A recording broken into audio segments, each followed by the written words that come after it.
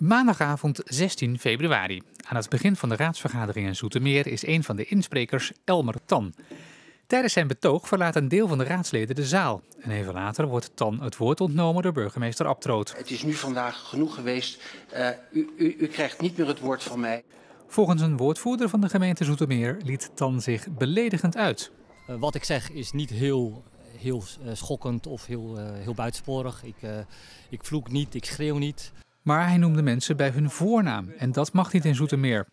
Daarnaast is het volgens de griffie van de gemeente goed gebruik om niet over andere mensen te praten. In dit geval gebruikte Elmer Tan een citaat waarin iemand een verband legde tussen de gemeenteraad en de dood van een kritische volger van de gemeente vorig jaar. Dat viel verkeerd, bevestigt ook Jan Lobel van de lijst Hilbrand Nawijn. Ja, dit vonden we toch eigenlijk wel een beetje beledigend voor de raad. Maar zijn er nou regels voor inspreken? Die zijn er officieel niet. Elmer Tan heeft inmiddels een gesprek met burgemeester Abtroot gehad. En afgelopen maandag heeft hij opnieuw ingesproken.